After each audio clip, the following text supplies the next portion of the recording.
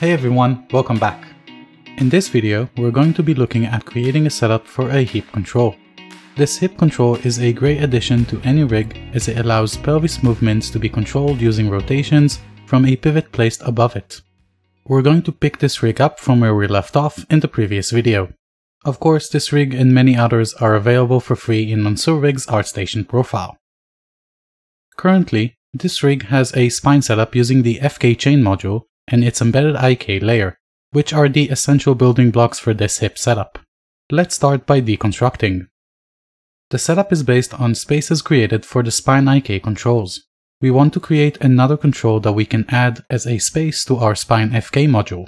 Then we will simply set the space for the root and mid IK controls to our new hip control while leaving the tip IK control space to the COG. Let's see how that's done.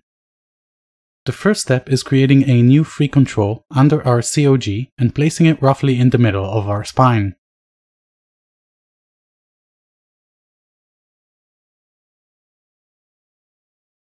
Now let's add our new hip module as a space to our spine module like this.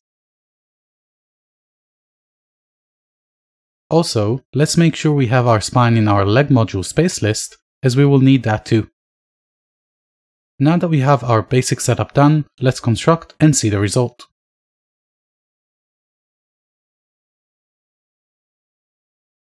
Moving the hip control currently does nothing, which you might have expected, since it is not a part of any skin cluster and has no child modules.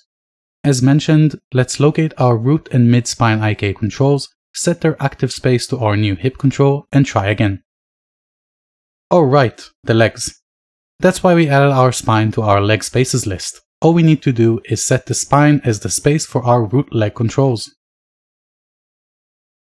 That will do it much better. And that's it, easy peasy. Always remember that you can harness the power of spaces to your advantage in many creative ways, so don't be afraid to experiment. I included a link to our Discord community below if you have any questions or just want to talk rigging with others. If you enjoyed this video, please leave a like and subscribe. Thanks for watching, I'll see you in the next one.